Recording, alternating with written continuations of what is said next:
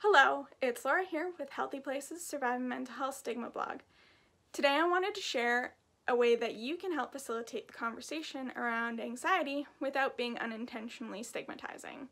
In this instance, I don't just mean the general conversation that we can have about anxiety, but rather I'm focusing in on the conversations about anxiety experiences either after the fact or as they're happening in real time.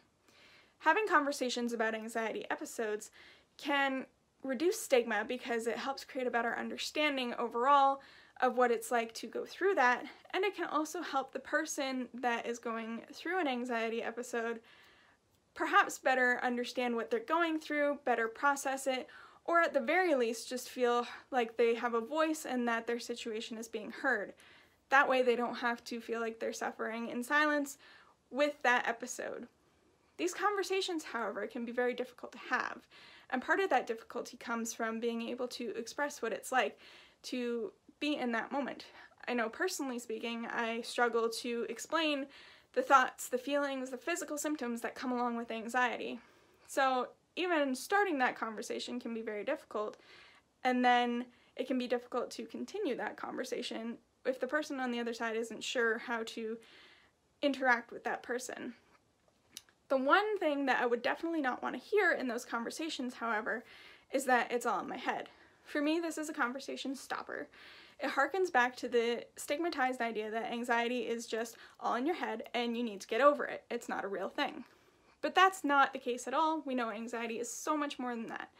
Even if you're not intending for that to be the impression that you're giving, the stigmatized version, I mean, that can be what comes across when you say those kinds of words or phrases like them. So it's best to just avoid them altogether so that you're not unintentionally stigmatizing and stopping the conversation that you're trying to have, potentially even before it starts or just midway through.